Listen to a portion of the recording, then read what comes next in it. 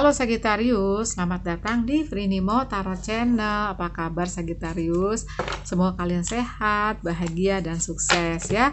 Terutama karena ini akan ngebahas mengenai tahun 2022 yang akan datang ya. Jadi temanya adalah tentang apakah kalian ada potensi menikah, ketemu jodoh ya. Kita lihat untuk para Sagittarius. Tapi tetap ini adalah pembacaan umum jadi nggak mungkin 100% cocok nyambung atau resonate 100% ya. Disarankan ke personal reading di mana nomor whatsappnya banyak lewat ya. Oke. Dan nanti aksi yang ditimbulkan setelah kalian menonton video ini semua dikembalikan kepadamu ya. Oke Sagittarius. Ada luck ada keberuntungan. Jadi kalau aku lihat di sini di deskripsi di deskripsinya ya manifestasimu di 2023 insya Allah terwujud loh. Kalau kamu manifestasi tentang jodoh ketemu jodoh insya Allah ketemu. Kalau kamu bermanifestasi bahwa selain ketemu jodoh juga kalian nikah insya Allah juga ya keberuntungan ada di pihakmu. Oh iya. Uh Sagittarius sepertinya kalian ini ya di 2023 benar-benar menikmati hidup. Savor your life benar-benar tinggal ngebumbuin deh gitu ya. Tinggal uh, menikmati kerja kerja kerja kerasmu dulu-dulu yang pernah kamu lakukan. Menikmati uh, kebangkitan dari hidupmu yang dulu pernah terpuruk. Kalau aku lihat seperti itu banyak keberuntungan datang untukmu. Coba ini kan aku prioritasin buat yang lebih buat yang uh, singles ya. Sama yang divorces pastinya ya apakah kalian untuk para Sagittarius ada potensi ketemu jodoh ya? Dan nikah. Dua-duanya deh ya langsung. Kalau tentang nanti siapa datang membawa cinta detailnya nanti aku buat tersendiri ya. Ini kita buat satu-satu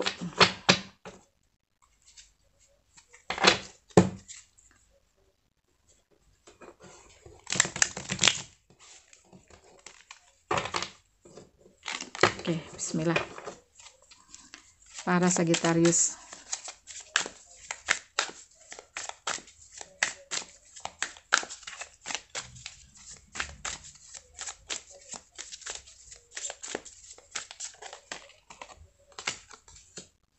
Hangman. Two of Imp. Ada The Star, oke. Okay.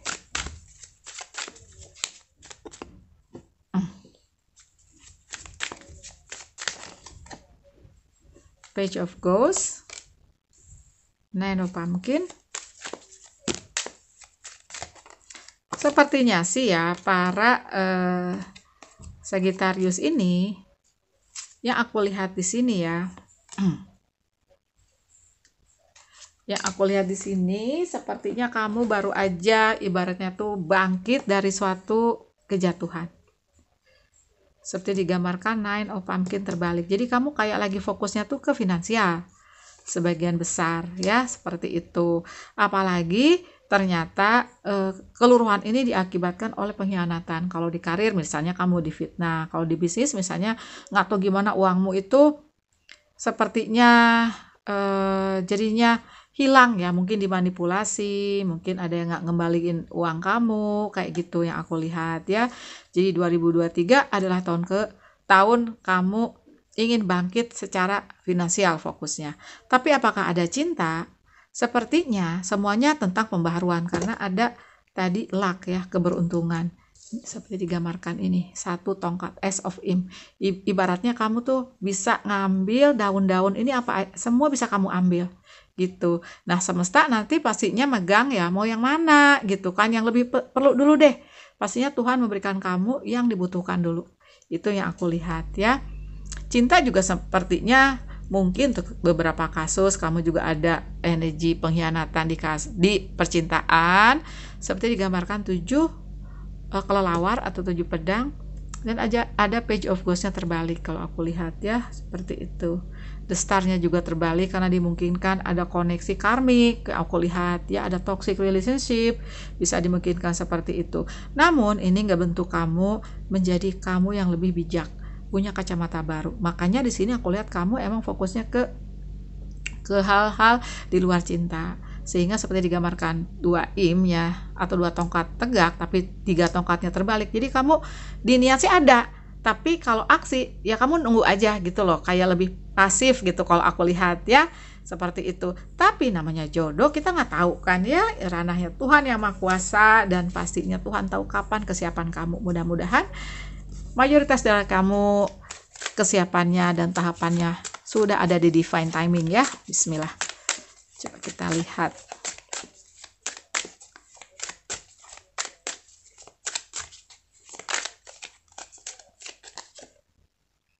Yang ini aku nggak terbalik ya di keterangannya karena aku ingin lihat apakah kalian ketemu cinta, ketemu jodoh.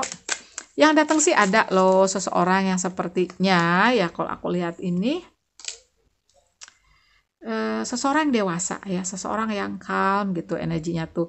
Uh, ibaratnya tuh orangnya nggak impulsif, orangnya nggak reaktif ya, dewasa. Kalau kalian maskulin yang feminim ini datang dewasa dan sepertinya menarik gitu orangnya. Feminim ya, energinya energinya feminim banget. Kalau maskulin, aku lihat di orangnya dewasa ya, orangnya tuh uh, sukses dalam uh, di finansialnya yang aku lihat. Jadi kalau karir atau berusaha sepertinya juga lumayan sukses aku lihat ya. Seperti itu. oh my god. Jadi potensinya emang ya ada. Karena aku lihat di sini ya Lovelace ada 10 piala. Jadi kalau energi siapa yang datang Aku lihat sih beragam ya karena ini pembacaan umum. Ada yang lebih muda dari kamu. Kalau kamu feminim berarti dia lebih muda dari kamu si cowoknya. Kalau kalian maskulin bisa dimungkinkan sih dianya lebih dewasa. Ya untuk sebagian besar kasus mungkin ada yang ini adalah nikahnya nikah kedua kalau aku lihat ya. Ada sembilan piala di mana aku sih rasa ya selain kebahagiaan kamu bertemu dengan orang yang tepat, aku sih lihat kalian happy aja di 2023 ini menikmati hari-harimu hangat lagi hari-harimu ya. Di berbarengi juga kalau aku lihat tadi di banyaknya keberuntungan yang datang kepadamu. Kamu menikmati hidup dengan menikmati hidup ini aku lihat kalian energinya positif.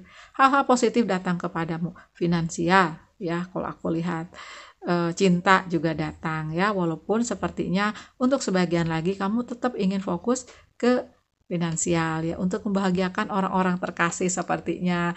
Gitu ya Sagittarius. Uh, Terima kasih banyak ya sudah nonton. Eh sebentar ya, aku udah ngomongin zodiaknya belum yang datang.